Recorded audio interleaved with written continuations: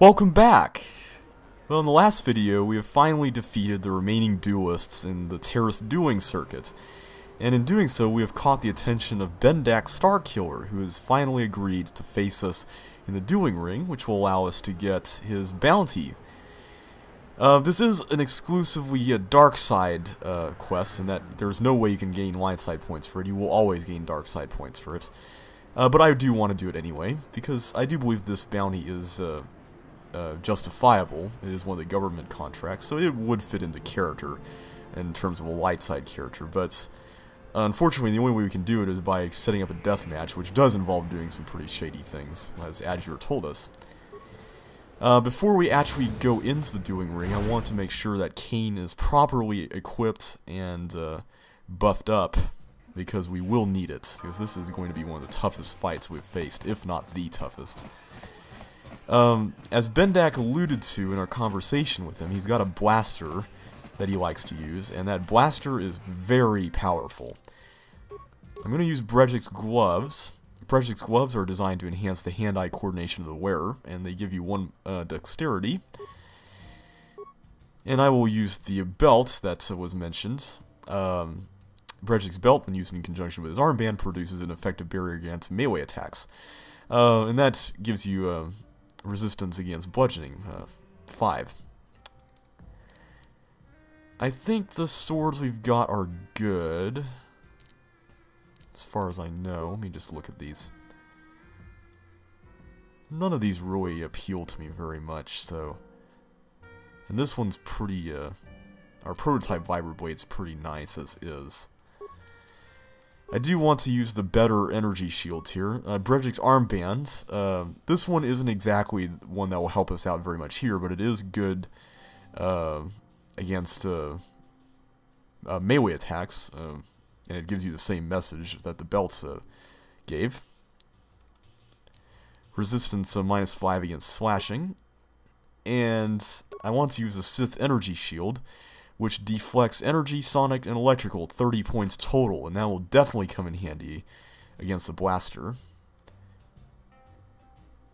The Sith have made many improvements to personal, personal forearm shielding, much to the dismay of the Jedi. Though efficient, the unit must be replaced often as it burns out when repeatedly activated. Well, we won't be activating it too much. Let's go ahead and talk to Ajuur. I'm going to go ahead and take care of this, and I'm going to go ahead and activate all of our stuff. First the energy shield, and all of our stimulants. Unfortunately, some of the time that the stimulants will be uh, working will be spent with the announcer announcing everything. I'm not going to spend much time on this. Let's get on with it. I'm ready. Yes, if we're still alive, that is a big if. Ladies and gentlemen, come with me now on a journey to the savage days of years gone by, to a time when two combatants entered the arena and only one came out alive. They're illegal. They're banned.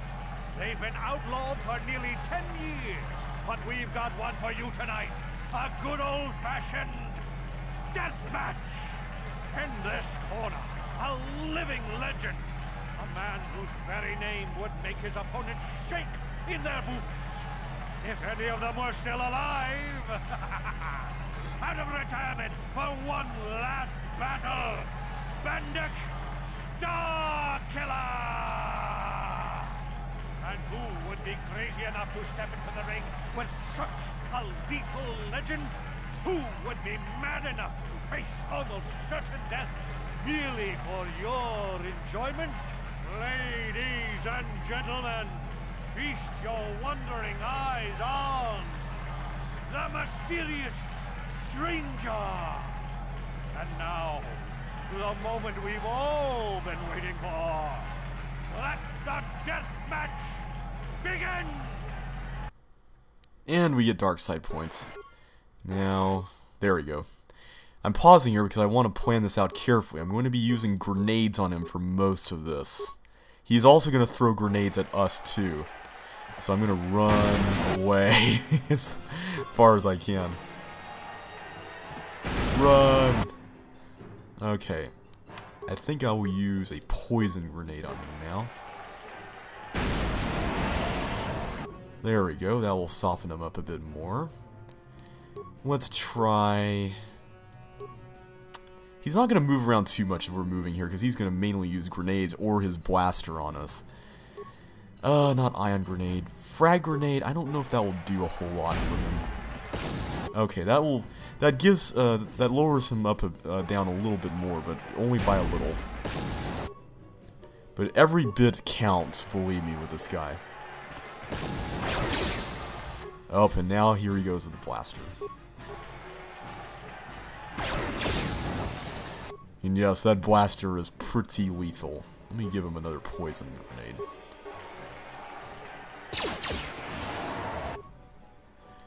And let's see, how about a concussion grenade? I don't know if that will do much.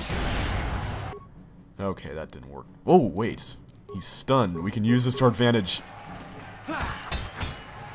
Come on, don't miss. There we go. Bendak is down. It's over. It's over. The fight is over. Woo! Bendak is down. Bendak is dead. Yay! Oh, hail the mysterious stranger, the greatest duelist to ever grace the rings of Taris.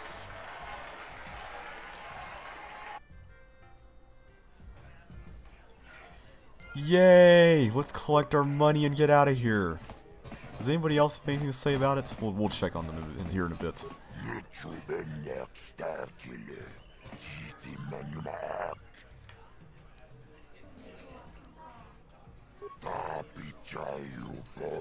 And we get his blaster pistol. That is awesome. I'm definitely going to give that to Carth, probably.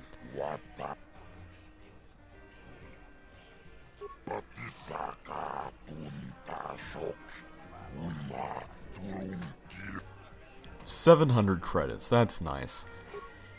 Let me go ahead and give Carth the blaster before I forget about it. Uh, let's see. Carth's blaster. Let me give him Bendak's blaster.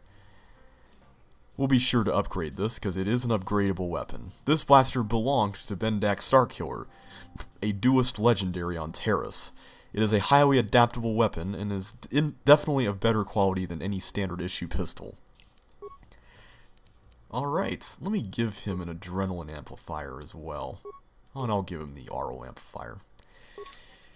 Alright, Yes? we are good to go. Let's talk to these other folks. This is great. You beat Bendak. You're a legend. Whenever anyone asks, I can say I was the first duelist the mysterious stranger ever beat in the ring. I'm gonna be famous. Well, at least we've boosted his self-esteem a bit. That's good. Hopefully that will actually be the case. I don't think you had a chance against Bendak, but you sure showed me. You showed us all. Too bad your career as a duelist is over now. I mean, nobody's gonna be stupid enough to go up against you anymore. Not even Twitch. Kind of funny, isn't it?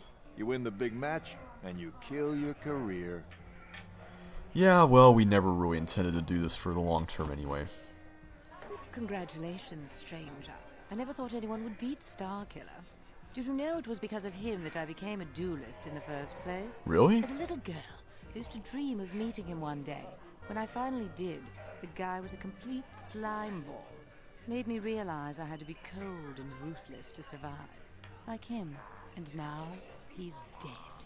There's probably a lesson in there somewhere. Yeah. Something for me to think about at least. Congratulations again, stranger. And goodbye. Don't be cold, Ice. It's not worth it in the end. What about you, Twitch? Do you have anything to say? Okay, nothing new. What about my fans over here? Twitch is my favorite. He's wild. Hey! I just beat Bendak. Come on. Hey, it's the mysterious stranger. Great match against Benedict Starkiller. Truly one for the ages. Thanks, man. Well, we've beaten Bendak, and now we can finally leave the dueling ring behind. Nothing more to do here in the cantina as far as I know. Let's just look at our journal to see what we've got left. Uh, we just need to go over to um, um, Zax to collect the bounty in order to finish this uh, side quest, as well as Selven's bounty.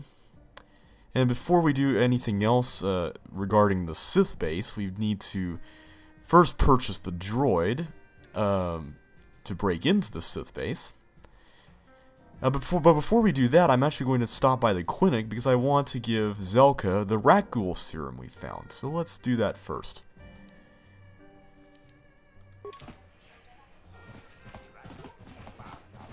I believe that Taris Planetary Information's uh, quest will be gone once we get off Taris. So we won't have to worry about that being there. I'm glad we were able to beat Bendak without having to worry about leveling up anymore. Because I definitely want to save my levels for later. Before we move on, let's heal up a bit. There we go.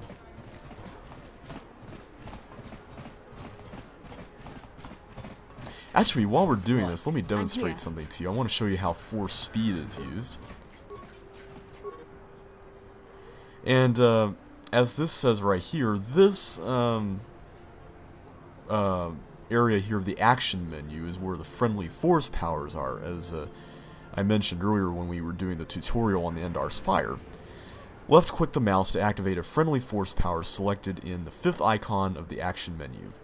Some force powers affect only the Jedi using them, others affect the whole part, the entire party. I don't really know why it says the fifth icon of the action menu, since it's the, the very first one. And when we do this, we can run faster, and as a result, somehow everybody else runs Bastila, I was faster. wondering something. How did those Vulkars manage to capture a famous Jedi like you? Or were you knocked out when your escape pod crashed? N- No, I was conscious. But my force powers were exhausted from using my battle meditation in the battle for the Endar Spire. Without my help, you might have never gotten off the ship alive. Fair enough, but I've seen you Jedi in action. There's there's no way those thugs could have stood a chance against your lightsaber. Yeah, My lightsaber was misplaced. I couldn't find it after the crash. I looked everywhere in that pod. The Vulkars came and overwhelmed me even as I was searching for my weapon. Wait a minute. Let me get this straight. You lost your lightsaber? I mean, isn't that a violation of some kind of Jedi code or something? Well, Obi-Wan would be very grumpy about that if he were here. I'm actually going to say this. This is no laughing matter. During the crash, my lightsaber must have... It it must have fallen from my belt and rolled under my seat. The Vulkars probably found it there when they searched the wreckage. Hey, hey, hey, don't get mad. I'm sorry. It's just funny to think of a legendary Jedi losing her life. Take my advice. This is one detail you might want to keep out of the history texts. I hardly consider myself a legend, Carth. Though I will consider your advice when I relate these events to the Jedi Council. There is no need for them to know every detail of what transpired. Indeed. I like that conversation. I have to pick at Bastila sometimes. I can't say that she doesn't deserve it. Let's go and give this uh, serum to Zelka here. Welcome back. Are you in need of healing or medical supplies? I can treat you right here at the center for almost any condition, except the Rakghoul disease, of course. Well, we can alleviate that because we've got the serum. You have the serum? Impossible. How did you get this? No, wait. I don't really want to know. can can I see it? The serum, I mean? I need to see if there is enough for me to analyze it so I can start producing it in mass quantities.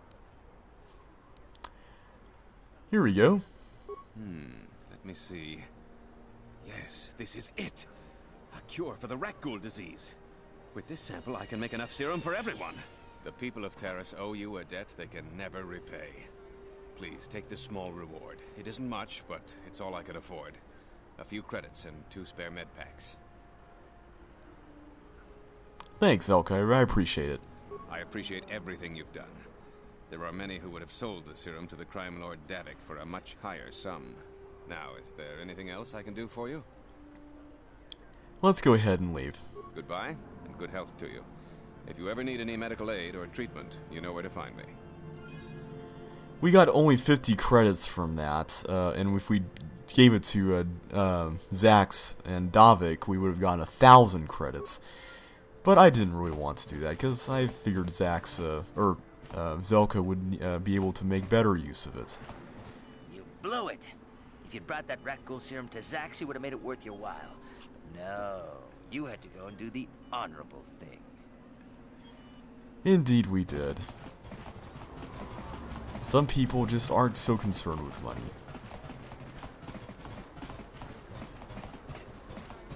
Well, there's nothing left for us to do here in this part of the upper city.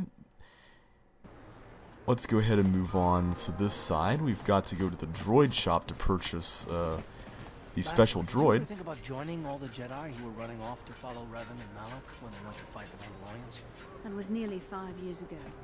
I was still an apprentice. My battle meditation hadn't even manifested itself. Yet even then I had the wisdom to obey the will of the Council. Unlike Revan. I guess. Still, do you ever wonder if things could have been different? I mean, would Revan and Malak still have been corrupted if the Council had supported them instead of dragging its feet? That's a good Do not point. blame Revan's corruption on the Council. Your Republic saw only the threat of the Mandalorians, but the wisdom of the Masters saw beyond the immediate threat. Hmm. Not sure exactly what to think of this. There was something lurking out there. Something that devoured Revan and Malak, and many other Jedi. Had the Council sent us all into the unknown, how many more would have fallen? So you're saying we should have done nothing? Just let the Mandalorians conquer us unopposed? I mean, the Republic was under attack, and the Order abandoned us. We did not abandon you, but the Council were not about to throw lives away foolishly. In time, we would have aided you against the Mandalorians, but you couldn't wait. Revan and Malak offered a quicker answer, and the Republic chose to walk the easy path rather than the path of wisdom. Now we see the results all around us. You asked me if I think things could have been different. I know they could have. If Revan had only listened to the Council, millions of innocent people would still be alive. Yeah, right. And every single one of them would have been speaking Mandalorian. I, I think we're done here. Let's just get back to the task at hand. Interesting to see the uh, various perspectives on what has happened during the war. That's one of the nice things about taking uh, various combinations of squad or uh, of uh, party members with you is that you can often get these conversations. And now we've got some new uh, uh, opportunity to talk to Carth. So let's see what uh, we can uh, find out about him. Maybe he'll tell us a bit more. And is all of a sudden in our face. Yes, what's on your mind? You do? Fair enough. What do you want to discuss?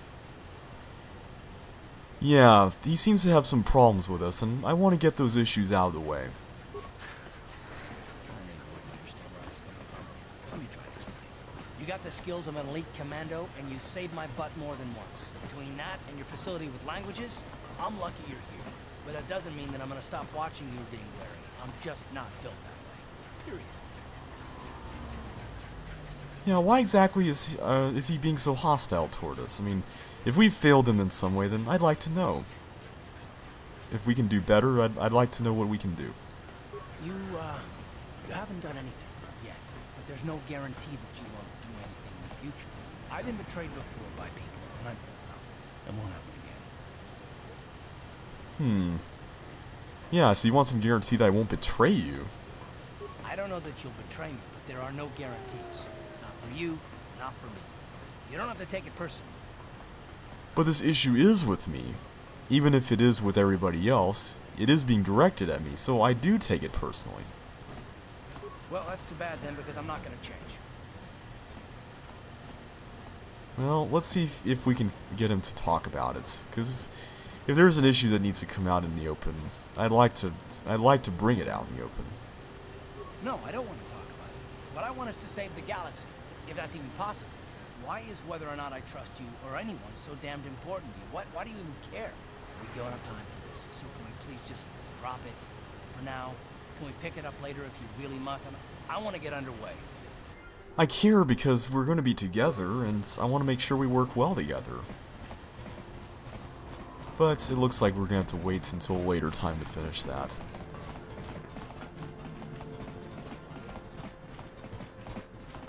Let's go to the droid shop and purchase the droid. There he is. Hey, little guy. He sounds a lot healthier than the other one. Hachu Apanki, Jishawa anibong kasha chona si ichua byong bojoni. Minamambato mutanga boksha um nagnong. Kin kun shin shin kin. Nikin kun na bule mule raji kun. Mokao dangya foki. Chachiska to punta kakaspaka. Bano oto. 2,000 credits. That is really diff that is really high. Well, we've got that, but let's see if we can persuade her to lower it. Kavadumpa kapalia Aw. monapata. Bonanakachu. Yin kin kun no ba mule rachi. Now we can uh, threaten her, but I really don't want to do that. I'll just go ahead and give her the money.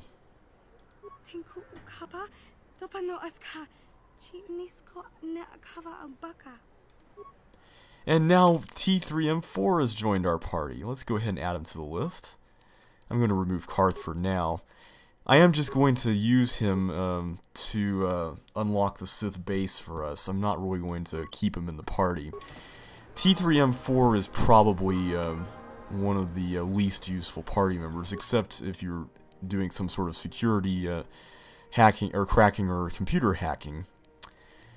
And we can uh, level him up. He's always going to be neutral, by the way, no matter what happens. That is one thing that I haven't mentioned. I, if I'm not mistaken, I believe that no, ma- uh, no matter who you have with you, except if it's uh, T3, the decisions that you make will uh, not only give you light side or dark side points, but it will also affect the light side or dark side meter of the people with you. Uh, let's see here. Let's give him... I am going to give him more dexterity, just in case we ever do find some occasion to take him into combat. As far as skills go, definitely computer use, definitely repair, and definitely security. And I'll just save. Level him up again. We're going to have to do this several times.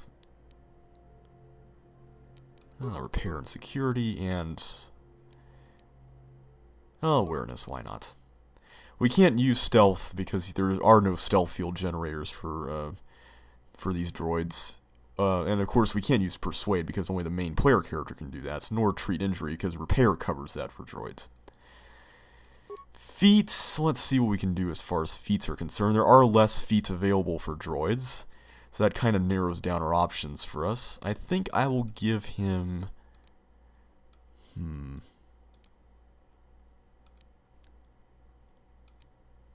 Oh, what should I give him?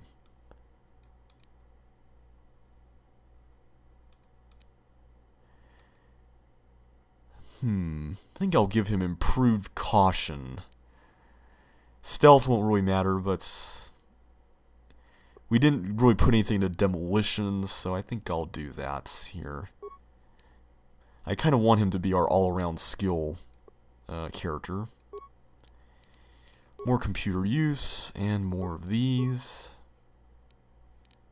We'll save that extra point for later. You have been granted the following feats this level. Tactician Logic Upgrade. Let's see what that's about.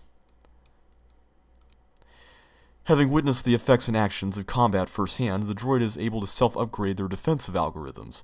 This feat grants plus 4 to defense and is always active. This feat replaces the combat logic upgrade, which only gave you plus 2 to defense. And this one gives you plus 2 skill points uh, extra to demolitions and stealth, of course. Oh, and we got one more feat that we can uh, add. Uh, let's see. Let's give him... Hmm... Improved ge gearhead would, would probably be best. This is probably what I should have given him all along first. This feat gives a plus 2 skill point bonus to repair, security, and computer use. This replaces the 1 plus bonus, uh, the plus 1 bonus given by Gearhead. Good deal. And uh, that is all we can do for now. So now we've got T3 in our party. Let's go ahead and try riding him around here. It's really fun to have him rolling around, and uh, in case you're wondering, you can take him anywhere. me. Oh, be quiet. Um, you can take him anywhere, even in environments that may not even seem suitable for droids. It's not really going to matter. Uh, he's always going to remain healthy no matter what. And just to be a completionist, let's equip him here. I don't, I don't think he has two weapon fighting. Let me check.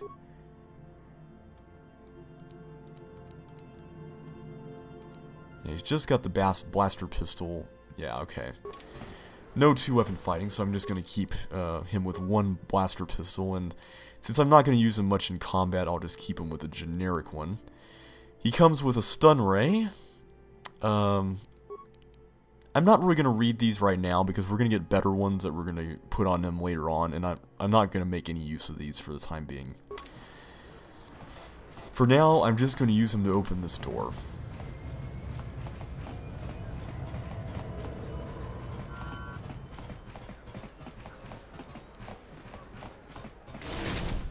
And he does it automatically, which is awesome. Good job there, little buddy. Now what I'm going to do is I'm going to bring uh, somebody else back into our party. I think I'm going to bring Carth back in here because I uh, keep forgetting this is on this screen. That's another thing that I didn't know about this game when I first played it was that there was actually a party selection screen that you could use while in the game. I thought you had to go back to your hideout to select a new party, so that ended up eating up a lot of my time. So yeah, I will use Carth. I, I'm tempted to use Zaalbar, but I think in the end, Carth will be more worth it because we do need another ranged, we do need a ranged character because Bastil is another melee character. So let's go with that selection for now. And we will break into the Sith base and head inside in the next video.